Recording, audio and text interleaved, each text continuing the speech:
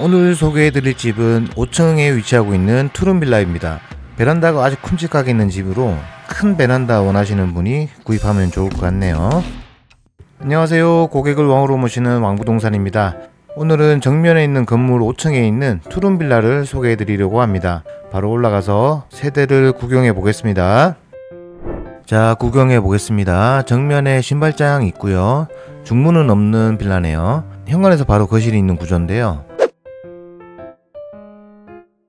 주방과는 분리되어 있지 않고 거실 겸 주방으로 만들어진 구조입니다. 깔끔하게 도배가 되어 있고 청소까지 되어 있어서 따로 수리는 필요해 보이지 않았습니다. 거실 한켠에는 벽걸이 에어컨도 옵션으로 설치되어 있네요. 거실 바로 옆으로는 통베란다가 있는데요. 통베란다도 구경해 보겠습니다.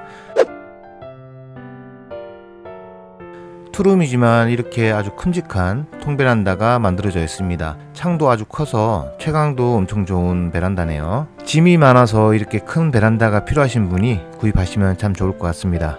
자 이제 들어가서 주방 바로 옆에 있는 안방을 구경해 보겠습니다. 주방 옆으로 들어가면 안방이 있고요.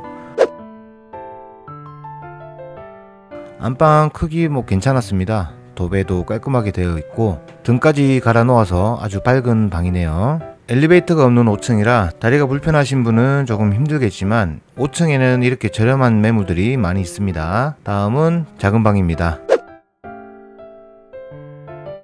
작은 방도 깔끔하게 수리되어 있고 채광도 아주 좋은 방이네요. 네, 다음은 작은 방 바로 옆으로 있는 욕실을 구경해 보겠습니다.